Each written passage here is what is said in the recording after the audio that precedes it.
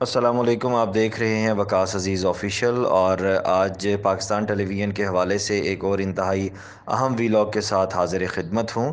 آج کے وی لاگ میں میں بات کروں گا پاکستان ٹیلی ویژن کی یونین سے جڑے ہوئے ایک انتہائی اہم عہدیدار سے جو تین دہائیوں سے پاکستان ٹیلی ویژنس کے ورکرز کی حقوق کی جنگ لڑ رہا ہے اور اس جنگ میں انہیں کن مشکلات کا سامنا کرنا پڑا اور پاکستان ٹیلی ویژن کو خسارہ اور مالی مشکلات کا سامنا کس ایم ڈی کے دور میں آغاز ہوا۔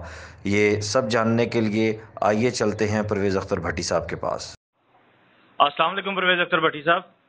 جی وعلیکم سر سر بہت شکریہ آپ نے مجھے وقت دیا۔ میں آپ سے جاننا چاہوں گا کہ یہ پینشنر کا اصل ایشو کیا ہے۔ پینشنر کا ایشو ہے کہ یہ جو پینشنر کی مادم ہم پیسہ جمع کراتے ہیں نا جو مختلف ہماری انویسٹمنٹ ہوئی ہوئی ہوتی ہیں مختلف جگہوں جی جی, جی, جی۔ بہت عرصہ پہلے جب ادارے کو ضرورت پڑی تو مختلف ایم ڈیز نے ان کو انکیش کروایا پیسوں کو۔ تو وہ جو انویسٹمنٹ تھی جن سے ہم پینشنرز کو پیمنٹ کرتے تھے وہ جب انکیش ہوئی تو وہ کم ہونا شروع ہو گئی اور اس سے پروفٹ آنا کم شروع ہو گیا اور اصل جو اماؤنٹ تھی وہ بھی کم ہو گئی۔ تو اس وجہ سے ہمیں پرابلمز آنا شروع ہو گئی جب لوگ ریٹائرمنٹ چونکہ تیزی سے ہماری ہونا شروع ہو گئی۔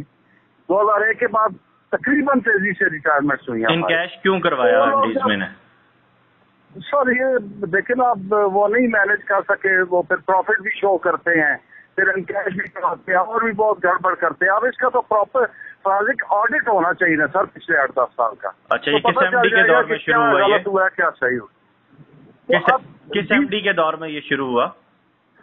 یہ سب تقریباً میرا خیال ہے راجا ارشد صاحب بھی آتے ہیں بہت سارے ایم ڈی اس میں آتے ہیں۔ نہیں شروع ہوا آغاز کب ہوا؟ راجا ارشد کے دور میں ہی ہوا۔ یہ غالباً انہیں کے دور میں شروع ہوا صحیح تو اس وقت میں نے یہ کوشچن اٹھایا بھی تھا۔ صحیح جب میں نے اٹھایا بھی تھا یہ کوشچن اس وقت انہوں نے اس کے لیے کہا جی کہ اس کی انکوائری کی جائے۔ ٹھیک ہے۔ تو اس کے اوپر میں جنرل باڈی بھی کی اور انکوائری کر رہی تھی کیا ہوا؟ پھر وہ انکوائری جو ہے اس کا آج آج تک ریزلٹ نہیں آیا۔ یہ انکوائری کس کے کہنے پر ہوئی؟ جی راجا ارشد صاحب نے کہا جی انکوائری کریں لیکن نہ کوئی انکوائری پراپر ہوئی اور نہ ہی اس کا کوئی ریزلٹ یعنی خود ہی انہوں نے پیسے نکلوائے اور خود ہی انہوں نے انکوائری کا بھی حکم دے دیا۔ جی حکم دے دیے اب سر وہ اب صورت حال اس وقت کی میں آپ کو بتا رہا ہوں۔ اس وقت صورت حال یہ ہے کہ تقریباً ہم دو ارب روپے جو ہے ہمیں چاہیے امپلائیز کو دینے کے لیے ریٹائرڈ امپلائیز کو۔ تو ان کے جو واجبات ہیں وہ ختم ہو جاتے ہیں، ہم آن لائن ہو جاتے ہیں، ایک بات۔ دوسری بات ہمارے اوپر جتنی بھی اس وقت لائبلٹیز ہیں، تقریباً دو ارب روپیہ اور ہمیں دے دے اگر گورنمنٹ بھلے وہ ہمیں لون دے دے، تو چار پانچ ارب سے ہم ادارے کو پراپرلی رن کر سکتے اگر پراپر بزنس پلان بھی دیا جائے ساتھ پھر لائسنس فی کے اوپر نہ انحصار کیا جائے۔ تو لائسنس فی والے معاملے پہ تو میں آپ کے ساتھ بعد میں آتا ہوں لیکن پہلے پینشنرز کے معاملے پہ بات کر لیں پہلی بات اس پہ آپ نے یہ کہی کہ انکوائری کا معاملہ ہوا انکوائری کی رپورٹ اب تک نہیں آئی اب موجودہ حکومت کی اگر جی۔ بات کی جائے تو عمران خان صاحب نے کرپشن جی۔ ختم کرنے کی بات کی انہوں نے اداروں کو سٹیبل کرنے کی بات کی راجہ ارشد صاحب کی بطور ایم ڈی تعیناتی سترہ لاکھ یہ ساری کہانیاں آپ کے سامنے ہیں لیکن کیا موجودہ جی۔ پچھلا نون لیگ کا دور تو کرپٹ تھا پیپلز پارٹی کا دور بدترین تھا کیا پی ٹی آئی کی گورنمنٹ نے پینشنرز کے لیے کوئی پالیسی بنائی کوئی انہوں نے سپورٹ کیا؟ سر ایکچوئل جو پرابلم ہے وہ یہ ہے کہ پرائم منسٹر پاکستان کے سامنے پراپر پکچر کی پیشی نہیں کی گئی۔ صحیح۔ میں یہ فیکٹ بتا رہا ہوں آپ کو۔ تو اگر پرائم منسٹر کے پاس پراپر پکچر دی جائے پیش کی جائے تو شاید ان کو یہ سمجھ آ جائے کہ یہ کر کے آ رہے ہیں اصل میں۔ اب یہ مجھے بتائیں کہ جب ہم لائسنس فی بڑھانے کی بات کر رہے ہیں تو کیا ہم پرائم منسٹر کو یہ بتا رہے ہیں کہ جی یہ الیکشن فی آپ بڑھا رہے ہیں اتنی بڑھا دیں اس کے بعد ہم اپنے بزنس پلان کو اپلائی کرتے ہوئے ہم پی ٹی وی کو خسارے سے نکال کے خود کفالت کی طرف لے جائیں گے۔ یہی پلان ہے نا پی ایم کا۔ جی بالکل۔ تو یہ تو کہہ رہے ہیں کہ ہمیں مزید شرط فی بڑھا دیں تاکہ ہم کھانا شروع کر دیں۔ پھر جب ختم ہوگی پھر ہم کہیں گے کہیں پانچ سات سال بعد کہ جناب پچاس روپئے بڑھا دیں۔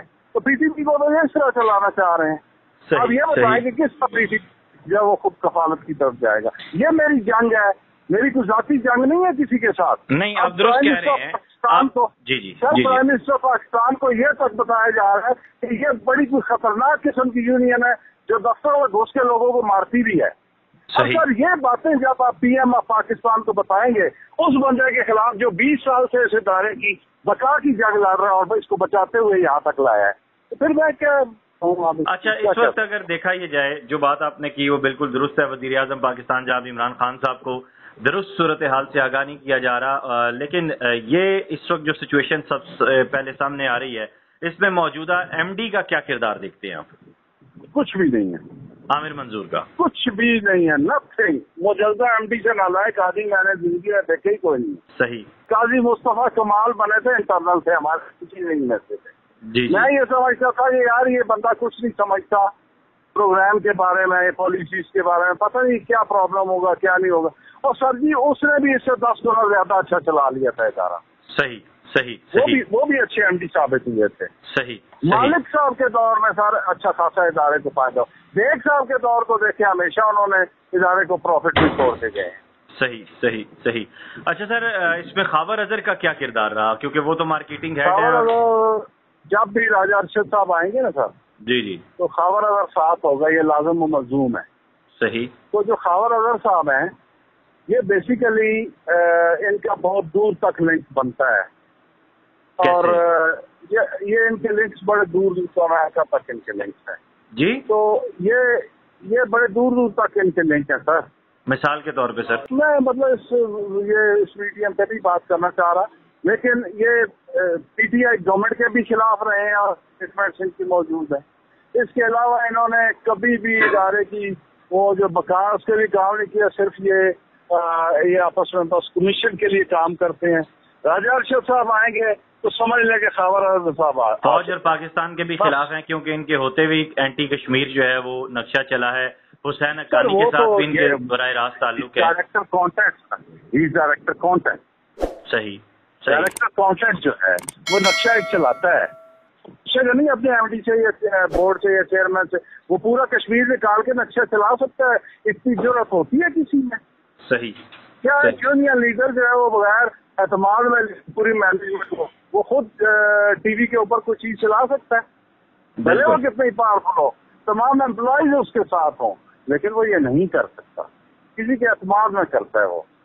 بالکل کشمیر کا نقشہ چلانا کوئی چھوٹی سی بات نہیں ہے سر۔ صحیح صحیح۔ پچیس سو جو اب ملازمین کو بے روزگار کیا گیا ہے۔ ایڈمنسٹریٹر ہوتا نا تو سر اب تک فیصلہ ہو چکا ہوتا اور یہ یہ اڈیالہ جیل بھگت رہا ہوتا بندہ۔ یہ میرے پاکستان کی بات ہے یہ کھیل تماشا نہیں ہے جو یہ ابھی تک یہ رکھ کے بیٹھے ہوئے ہیں کیس کو۔ اچھا سر جو پچیس سو لوگ جن کو نکالا گیا ہے اس کی بنیادی وجوہات کیا بتائی جا رہی ہیں؟ سر ابھی نکالا نہیں ہے۔ ابھی ایک تو ففٹی ایٹ ایئرز والے لوگ جو ایل پی آر سے جو گئے ہیں نا ان کو بھیجا گیا ہے۔ ایک تو وہ کہا گیا جی ان کی ہمیں ضرورت نہیں ان کو گھر بھیج رہے ہیں۔ دوسرا ایک پلان ہے کہ جی ہم ریسٹرکچرنگ کریں گے ادارے کی۔ ظاہر اس میں سے لوگ نکالے۔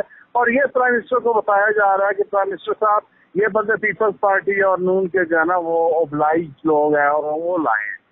سر اس میں مینجمنٹ بھی لائی ہیں منسٹریز بھی لائے ہیں امپلائیز کے بھی ہیں یونینز بھی لائی ہیں۔ اور پارٹیز نے بھی بندے انڈکٹ کیے ہوں گے۔ تو آپ ان میں سے اگر نالائق لوگ ہیں تو ضرور اس کو یوٹیلائز کریں۔ ہم کبھی بھی نہیں روکیں گے آپ کو۔ اگر کوئی بندہ کام کے قابل نہیں ہے تو اس کو پی ٹی وی میں رہنے کا حق نہیں ہے۔ لیکن لوگ جو کام کر رہے ہیں پراپر ان لوگوں کو کیوں کہہ رہے ہیں کہ ان کو بھی نکال دیں گے؟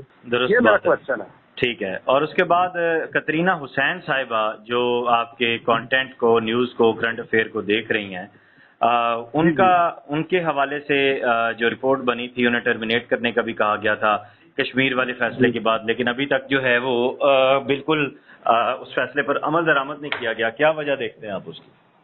سر میں دوبارہ یہ کروں گا کہ کترینہ حسین کا ایکسپیرینس کیا ہے پی ٹی وی کے بارے میں؟ صحیح۔ کے انتہائی کمپیٹنٹ لوگ موجود ہیں پی ٹی وی کے اندر۔ اگر آپ نے کسی کو لانا ہے تو پی ٹی وی کے ریٹائرڈ ڈائریکٹر میں سے چلیں کسی کو لے آئیں جو بہت ہی ناگزیر ہو۔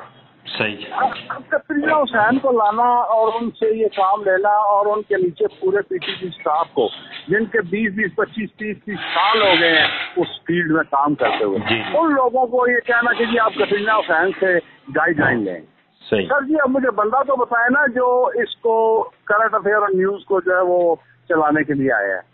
وہ وہ کمپیٹنسی بتائیں جو پی ٹی وی کے لوگوں سے اس کی زیادہ ہے۔ بالکل درست ہے۔ اب سستاک چیزیں ہیں سر اب پی ٹی وی کے لوگ دن رات کام کر رہے ہیں اور وہ ڈیڑھ ڈیڑھ لاکھ تنخواہیں لے رہے ہیں۔ تو بہت بڑی بات ہوگی ڈائریکٹر ہوگا۔ دو لاکھ سے ایک آدھ چلا جائے گا۔ یہ سر پانچ سات آٹھ دس لاکھ سے آ رہے ہیں۔ کھیل تماشا پاکستان کا مال ہے یا لوٹ کا مال ہے؟ لیکن سر یہ کہہ رہے ہیں کہ انہوں نے پی ٹی وی کی اسکرین چینج کر لی ہے نیوز اینکر نئے لے آئے ہیں گرافکس نئے لے آئے ہیں سیٹ نئے۔ سیٹ نئے بنا لیے ہر دور میں سنتے رہے سر گرافکس وہ لگا دیں آئی ٹی والوں کو گرافکس چینج کر دیں گے۔ سر یہ ٹوٹل جو ہے نا یہ پچاس لاکھ کروڑ روپے کا کھیل ہے۔ اسکرین بھی چینج ہو جاتی ہے گرافکس بھی چینج ہو جاتے ہیں۔ آج کل کے دور میں سر ٹیکنالوجی کا دور ہے۔ یہ کون سی مشکل چیزیں ہیں؟ ہمارا اپنا اسٹاف آرام سے یہ ساری چیزیں کر سکتا ہے پتہ بھی نہیں چلے گا۔ لیکن انہوں نے کی ڈبنگ تو سے کروائی ہے۔ تو سر جی کیوں کروائی ہے؟ بلکہ تو ہے نا موجود ہے نا اندر۔ اب جو التغرل کی جو ڈبنگ ہوئی ہے یہ ڈبنگ سات سات اندر سے لوگ کر چکے تھے جو لوگ جن سے ہم کروا رہے تھے۔ جی جی۔ اور سستی کر رہے تھے اس میں انجم ابھی جیسے بڑے نام کو انہوں نے پانچ ہزار روپیہ دیا ہے سات ایک سات کا۔ مطلب اس حساب سے انہوں نے انہیں پیمنٹ کی ہے۔ تو باہر یہ کروڑوں روپیہ دے رہے ہیں۔ کیا انجم ابھی بھی اور جو لوگ کر رہے تھے ریڈیو ٹیلی ویژن کے آرٹسٹ ان سے زیادہ سینئر اور اچھی آوازوں سے باہر سے کروائی ہے انہوں نے؟ میں نے کوئی نہیں سات تک سات ہو چکی تھی اور بڑے آسانی سے یہ کام ہو رہا تھا۔ تو سر، ان لوگوں نے بس یہ معافی ہے نا، ایک، ہم ایسے ہی تو عدالتوں میں ہی چلے گئے۔ ہم ایسے ہی تو نہیں بورڈ کو، ہر چیز کو چیلنج کر رہے۔ ہیں یہ، میں اسی لیے کہہ رہا ہوں کہ صرف ایک دفعہ پرائم منسٹر آف پاکستان اور مجھے ہیئرنگ کے ٹائم تو دے میں ان کو بتاؤں کہ یہ پی ٹی وی کیسے کیا ہو رہا ہے اس کے اندر اور کیسے ڈیولپ کر سکتا ہے تو سر اس سارے معاملے کو اب کیسے کنٹرول کیا جا سکتا ہے؟ آخر میں جاتے جاتے پی ٹی وی کے پینشنرز کے حوالے سے بھی اور جو ایشوز کریٹ ہوئے ہوئے ہیں ان کے حوالے سے آپ اگر کوئی تجاویز دینا چاہیں کوئی بات کرنا چاہیں۔ سر میں گزارش یہ کروں گا کہ سب سے پہلے بورڈ کو تبدیل کرنے کی ضرورت ہے مکمل طور پہ۔ ٹھیک ہو گیا۔ اور بورڈ میں جو پرانے ڈائریکٹر ہمارے پی ٹی وی کا جو پرانا سسٹم تھا پی ٹی وی کے اپنے ڈائریکٹر بورڈ کا حصہ ہوتے تھے۔ وہ ہونے چاہیے اور جو منسٹری سے ڈائریکٹر آتے ہیں، وہ ایز اٹ از ڈالے ایکس آفیشیو سے آپ منسٹری آف فائنانس سے ڈال رہے ہیں فارن افیئر سے ڈال رہے ہیں۔ کئی اور سے ڈال وہ آپ ڈالیں۔ جو جو اچھے کمپیٹنٹ ڈائریکٹر ہیں، وہ ڈالیں۔ اور یہ ہنڈریڈ پرسینٹ شیئر کا اونر جو ہے گورنمنٹ آف پاکستان ہے P T ministry of information ہے۔